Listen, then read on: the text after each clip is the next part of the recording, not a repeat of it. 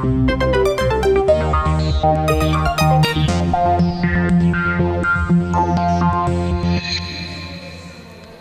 utolsó hazai mérkőzésén a bajnok Rába Etót fogadta a Gödöllői Bikák együttese. A hazaiak számára a tisztes helytállás lehetett csupán a cél, hiszen mindössze hét játékos tudta vállalni a találkozót.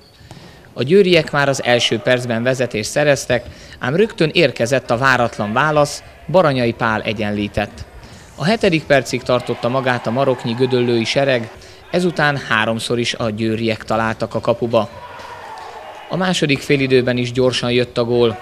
Ezúttal Lovrencsics Balázs volt eredményes, ám szinte azonnal jött a győri válasz, 5-2.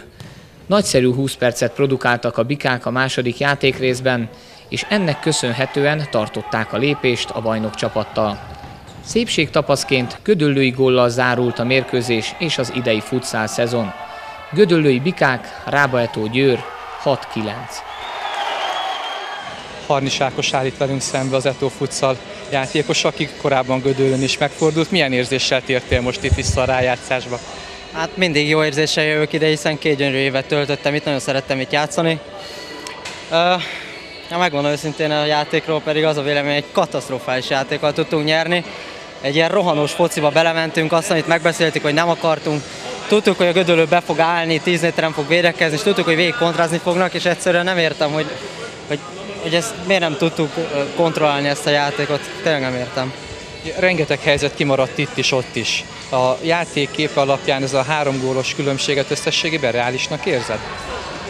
Azt mondom, rúgtunk 11 kapufát, Gödölőnek is voltak helyzetei, az a reális, ami az eredmény. Hát az ment be, ami bement, ami kimaradt, az meg kimaradt, ez van.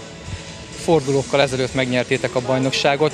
Hogyan tudjátok magatokat motiválni, felpörgetni ezekre a meccsekre? Megvan őszintén, nagyon nehéz.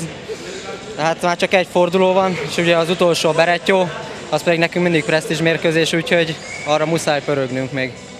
Nagy Roland állít velünk szembe a gödöllői csapattól. Roli, 9-6. Igaz, hogy oda, de összességében talán most volt a legszorosabb a bajnokságban. Mi a vélemény ezzel kapcsolatban? Igen, én is így gondolom. Azt mondom, hogy ha a bajnokság során így játszottunk volna végig, sőt a rájátszásban, akkor biztos, hogy a harmadik hely meg lett volna. Egész jó ment nekem is személy szerint, csak a gól hiányzott a játékomból. Gratulálok az egész csapatnak mit gondolsz, mi lehet az oka annak, hogy igazából most voltunk a legkevesebben, de talán most játszottunk a legjobban az egész bajnokságon, meg a rájátszásban?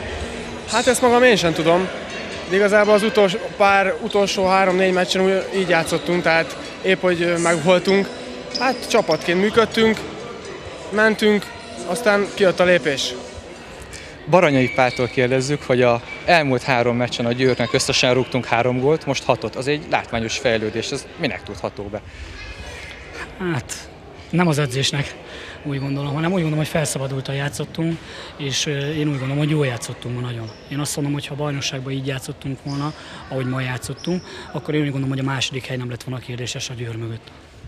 Hogyan tudtad motiválni úgy a srácokat, ugye, hogy igazából rajtad kívül, meg a Jenei Otton kívül mind fiatal játékos volt, hogy fel tudjon pörögni egy, hát valljuk be egy esélytelen mérkőzésre, és azért valamilyen szinten szorossá tudjuk tenni. Hát én úgy gondolom, hogy nem kellett őket motiválni, mert úgy gondolom, hogy a fiatalokat motiválni kell, az már elég rossz dolog. Én azt gondolom, hogy az már egy motiváció a fiataloknak, hogy játszhatnak egy NB1-es csapatba, egy nagy múltú gödölőbe, én úgy gondolom.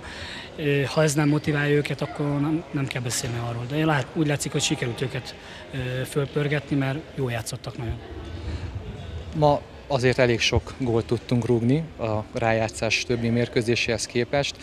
Mi lehetett az oka annak, hogy eddig ezek a helyzetek kimaradtak, most meg azért végül is elég szép számmal bementek? Én úgy gondolom, hogy koncentráltabbak voltunk, mint a többi mérkőzésen.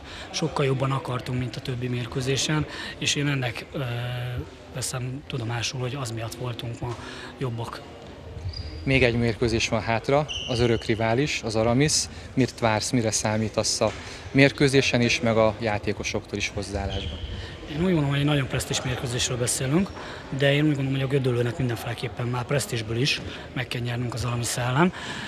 Nem lesz egyszerű, biztos, hogy nehéz lesz, de mindent el fogunk követni annak érdekében, hogy mi onnan a három pontot még elhozzuk utoljára. Ugye ma sok volt az eltiltott, meg a sérült, elméletileg az Aramis ellen szinte teljes csapattal tudunk kiállni. Lehet, hogy igazából akkor is csak hatan kellene, hogy elmenjünk? Hát azért nem, mert azért ez így fárasztó. Én úgy gondolom, hogy holnap nem fog tudni lábra állni, de, de én azt mondom, hogy kell még ez a Szente Vidák Ugi Márk, és akkor én azt mondom, hogy ha így fogunk tudni focizni most, és ilyen motiváltan, akkor szerintem nem kérdéses a három pont. Thank